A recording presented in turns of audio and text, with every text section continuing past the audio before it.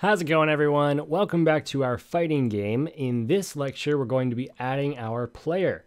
I'm excited to be doing this lecture because now we can actually get started. So the first thing we're going to do is on our game layout, we're going to double click to insert a new object. We're going to go to our sprite object and then we're going to click again.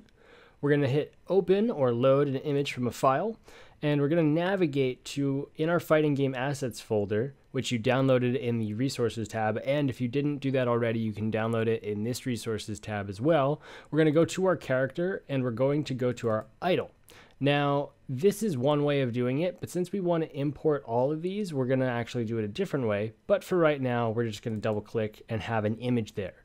So let me exit out of this now. Let me zoom in. And now we can see that this is our player. So let's call it our object underscore player. Now we have a few things that we have to do. The first being, let's put this into our folder structure. So if you don't have the free version of Construct 2, don't worry about this. But if you do, what we're going to do is we're going to drag it and put it into our entities folder in the objects window. And if you don't have the objects window open, then you can go to the view tab in the ribbon and you can hit object bar.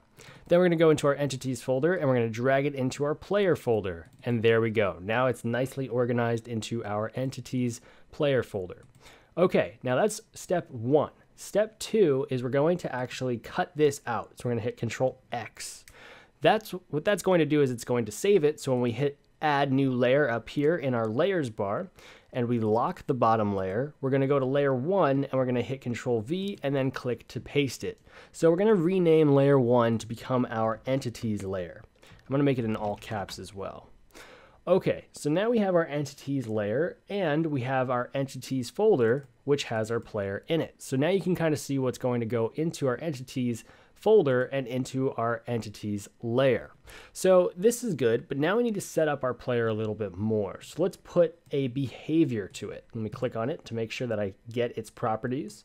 And let's go to behaviors. Now in the behaviors panel here, or the window, what we're going to do is we're going to add a new one and we're going to look for the platform behavior. So let's click platform and we're going to add one more behavior to him for now. We're going to come back and add some more, but the other one is going to be bound to the layout. So we're going to hit bound to layout, and there we go.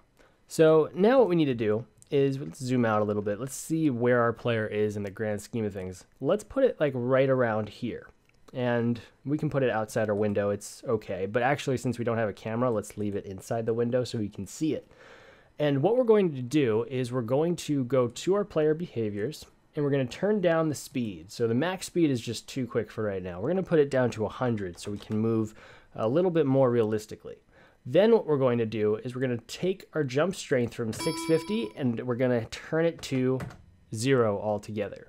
That means we're just going to turn it off. We're not going to have a jump at the moment and we don't have one planned for this game, but of course you can always add one. So we're just going to turn that off altogether to begin with and then the last thing we're going to do is we will be turning off our default controls, but for testing purposes, we'll leave it on for right this second. Let's lock this layer and let's add a new one. Now, we're already at the third layer limit, or we're already at third out of uh, three out of four. There we go. We're at three out of four for the actual free version of Construct 2, but I promise that we won't go over four for you. But we will be adding a bunch of other layers for those who have the personal edition or greater to make this game just a little bit better. So here's what we're going to do.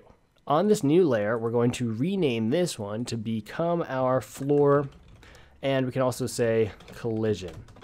There we go. So now we have our floor and our collision. So let's double click and let's add a tiled background and let's click again.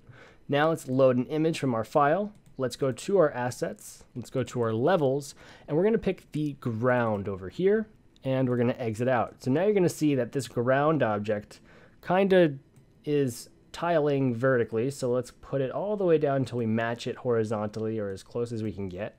And let's drag this over here. So now we actually have our floor object. So let's call this object floor. And let's put that into our level, just like that. So now our level has our object floor. Now we're getting there. You know, now we have a actual platform for our character to go on.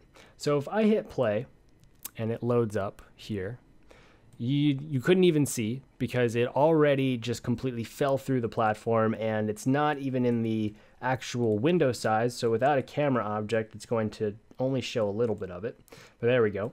And what we need to do is we need to actually make a collision object. So let's lock our entities layer. Let's double click and let's make a new sprite and let's color it in. So let's take the paint bucket tool I usually make it red color and then I turn down the alpha from 255 to 155 and I paste that in or paint it in. And there we go. But now you can see that it's kind of ginormous. But first, what we're going to do is call this our object collision. And since we set our player to be bound to the layout, we don't need to put vertical collisions anywhere. We just need to take care of our horizontal collision. So let's try to match this with this height. And you can see here that our height is at 60. So let's go down here, change the size, the height from 250 to 60. And now what we can do is we can stretch it out like this. But you're gonna notice one thing, and that's because we don't have a grid turned on. So here's what you're gonna notice. The snapping of these objects is kind of important. So what we're going to do is we're gonna turn show grid on and we're gonna say snap to grid. And now if I tried to do it, it's going to snap to the grid, but it's not going to be the way I want it to. Right now it's snapping to the middle, but you can see right here how this is a little bit offset from the side that I want it. And to fix this, what I'm going to do is I'm going to actually double click on our collision, go to our origin points, and I'm going to right click, quick assign to the top left, and I'm going to exit out. So now I can actually match this perfectly, or as close as I need it to be. So there we go and we can actually minimize this floor just a little bit more. So now we actually have a floor, and when I hit play, we can actually see that I have a floor, but I actually don't collide with the floor at all. So on our collision object, what we're going to do is we're going to add the behavior of solid, and then we need to do one more thing, and that is we need to go down here and the initial visibility of our collision object needs to be invisible. So now if we hit play, we can actually stop moving there, and there we go. But now we still have one more thing that we need to fix here, and that is our players' feet are kind of over where they need to be. They need to, uh, to collide as close as possible. And so what we're going to do to fix that is the same exact thing. We're going to go into our player, and actually let's take our collision object and let's put that into our level. Let's go into our entities and into our player, then double click it, and let's zoom in so we can see where we are let's go to our origin point, which I'm already on. Let's quick assign it to the bottom. And let's also double check our collision. So this is our bounding box, and this is pretty much a mask. So if you're used to Game Maker Studio, or if you're used to Unity, or just any programming language, whether it be ActionScript or uh, Java, anything, you're going to usually have a mask when it comes to doing 2D programming. And Construct 2 makes it easy by using this uh, collision polygon. And this lets us drag this all around and whatnot so we could get really cool shapes and we could probably get really close to this actual player's shape. But what we want to do is we want to be pretty general with it. So we're going to right click on it and set it to the bounding box. So it's just going to be a box for our mask. Now, certain situations, you're going to want it to be a little bit less than a box, but for pretty much everything, you kind of want it to be a box so we know where the collisions are from the get-go. So let's hit play again.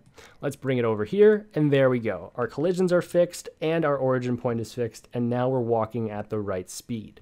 So that is how we are going to set up our player. I hope you learned a lot from this lecture, and I will see you in the next one.